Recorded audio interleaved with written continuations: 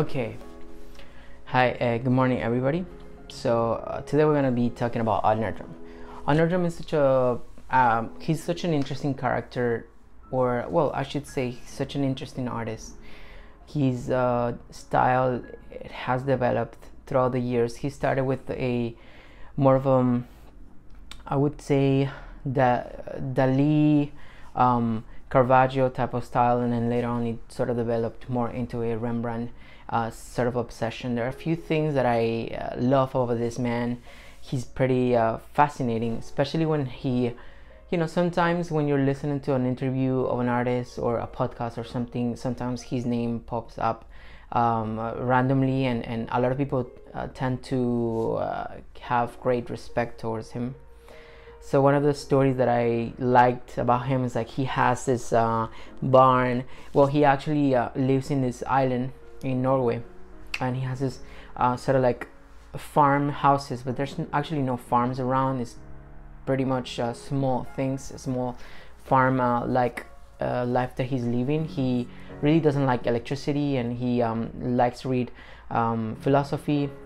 He's just put all his energy into reading and like uh, painting basically uh, and i kind of love that aspect of him and the, the fact that he just uh, he just chose four colors to paint is another uh, thing that is fascinating to me. He read somewhere well leonardo and rembrandt they basically use earth tones who who um, you know you can really make the colors that we have today like cadmiums and like bright uh, brilliant uh, colors like this.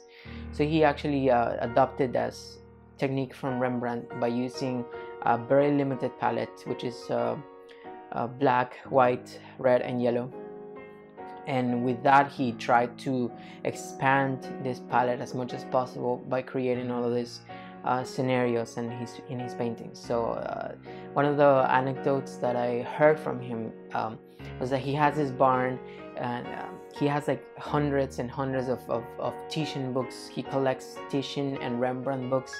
He has like uh, Titian and Rembrandt books from all over the world, and, and such a cool little um, fact about him. He's also a Norwegian artist usually Norwegian Norwegian uh, culture they tend to be a little cold or reserved. For the most part, they're really hard workers and they, they love design and like architecture and all these things. They were really influenced by German uh, philosophy, uh, which is straight lines, clean metals, and, and industrial design.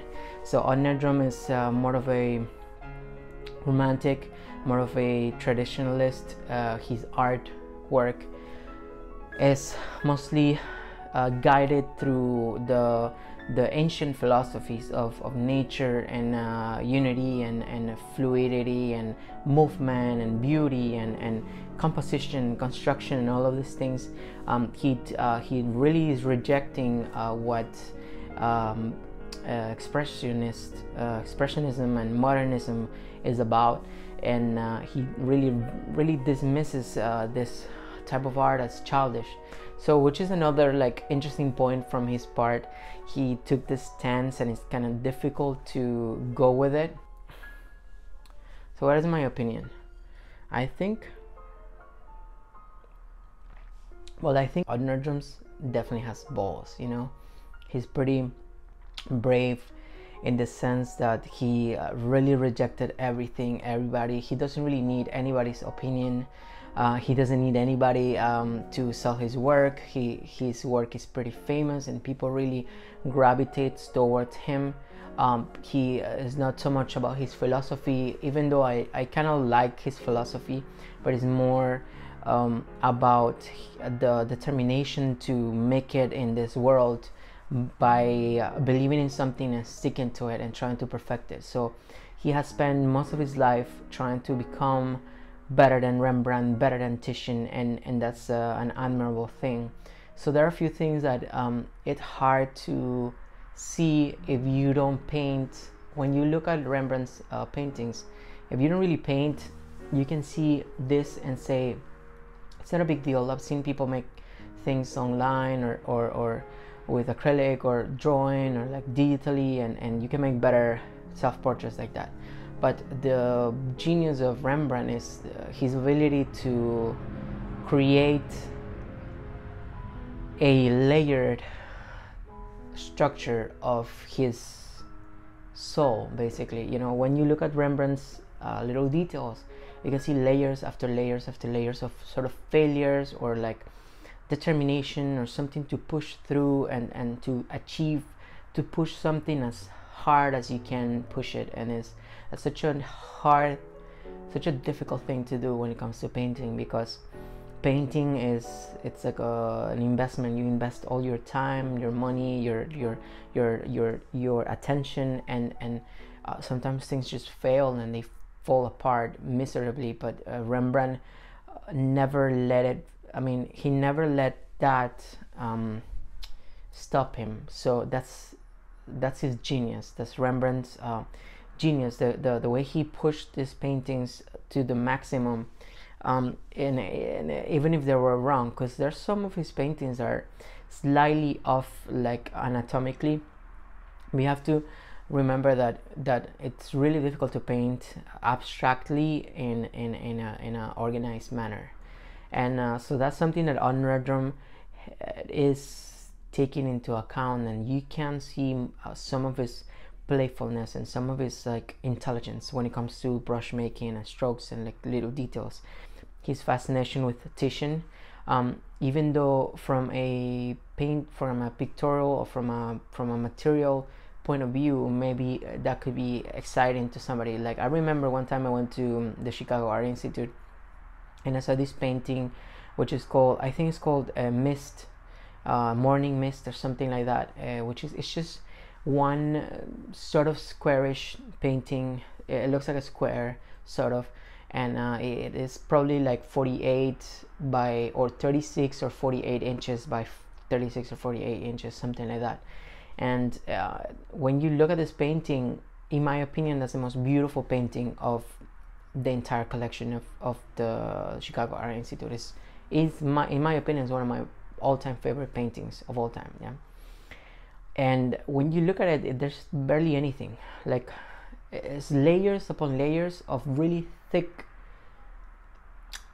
toned down tonal um, different there's so many different variants of, of cyan and, and, and aquamarine and, and uh, cobalt blue uh, um, um, ultramarine blue um, purple pink alizarin and other but they're almost imperceptible. Like when you look at it it's really thick but there's nothing. It's like if you step away it looks almost grayish white but when you get up close you see all of these little uh, flickers of, of light. And and there's such a thing that it's sort of like a it was like a punch in my in my in my in my face it was like a punch in my face when i i looked at it really up close and i think that's the reason why a lot of these great artists are really fascinated by this uh, you know like italian artists uh, as, such as Titian because at the end of his life he just didn't care anymore. He just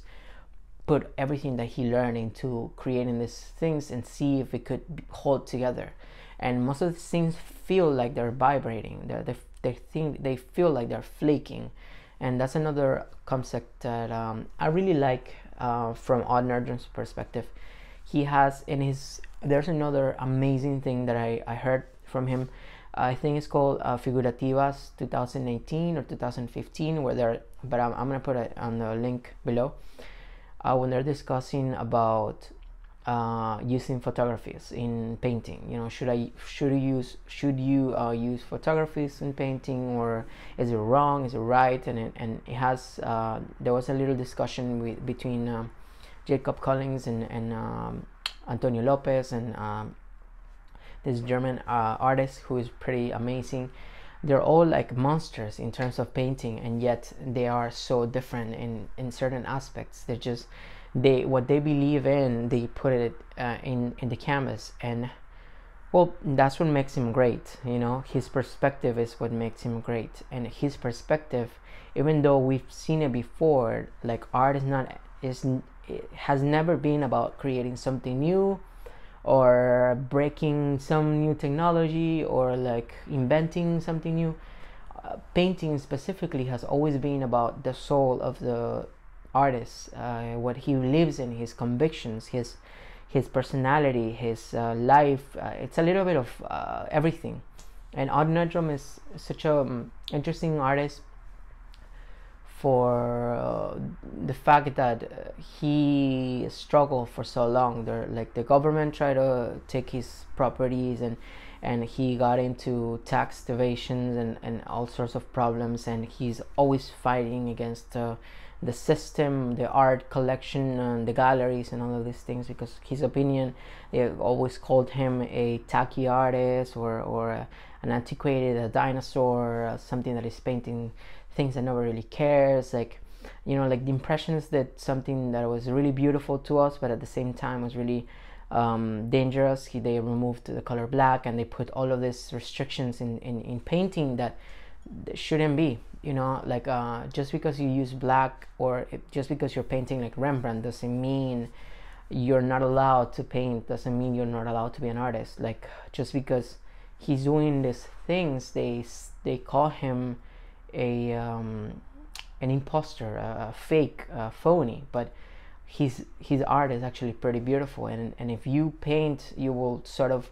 see this information that is uh, passed down to you. Like when you look at some of his marks, um, there's a lot of things that uh, sort of uh, pushes you uh, to get better, to be better. And uh, there's also many people who say that Odd Nerdrum is, is is not a talent and all that, but to be honest, if you compare it with like some of the paintings by, let's say, Picasso, you know, he did 114,000 or more paintings uh, compared to like Bouguereau, who who who did like um, less than 900 or maybe a little bit more than 900. Um, you can see the difference between uh, what it takes to to push something, uh, what it takes to be honest with your own self and, and trying to push your own ability into creating something for not only for your own sake or for your own sanity but for the good of others you know? That's the other thing that i love about Odd Nerdrum he takes people um, from all over the world and he trains them and he he he um, he adopts them almost and and he's sort of like a, a father figure and and it's pretty funny because he's in his personality he seems like really cold and, and distant and and and and uh, mad you know? But but at the same time there are like other artists who who mention him uh, as being uh, like full of uh, fire and passion for painting and and all of these things just like uh, it's admirable. Um, regardless of if you like his art or not uh, there are like aspects of his life that are really admirable. I like i love the simplicity in which he has um, transformed his life. He, he made it so simple and and he just put all of his energy into one single thing which is just painting. And if he does something else like reading or something or farming or something like that is is like secondary. Everything is secondary to painting. And what other um, reason that you need to to um, to um, to to put him in in good uh, steam in a, in a good place. In my in my book he's is uh, pretty amazing and re- remarkable what he's doing. So the other thing that is uh, interesting he has won many awards but he has won so many enemies because of his opinions about what the nature of painting should be and if something should be based on beauty and reality and, and proportions and a study of, of, of the craftsmanship of painting or if it should be about expression and dynamism and um, and like exploring the world and all of these things that the the new school uh, teaches which is absolutely fine. Like there's no nothing wrong with any of those two um, unless you really box yourself in. Um, so the only thing, in my opinion, I really love Odd Nerdrum, but I don't know exactly how how much of a discriminatory artist is he when it comes to other types of uh, painters. Let's say like de Kooning or or um or uh, Jackson Pollock or or some of these like uh, expressionist artists, uh, modern, postmodern artists, and all of this. I uh, I am afraid that his his uh, his point of view would not be as nice. Um, regardless of his point of view and, and his position in in um, when it, his position about other artists, I think he's a fantastic artist. He's really strong, um, very um, professional. Uh, he I heard that he has many mansions, set like seven mansions. One in, in Paris, one in Greece, one in, in in I think in Italy, and another one in in in Norway. And those are things that are fascinating. But I really love the story of the barn full of hundreds and hundreds of Titian uh, books. It's amazing.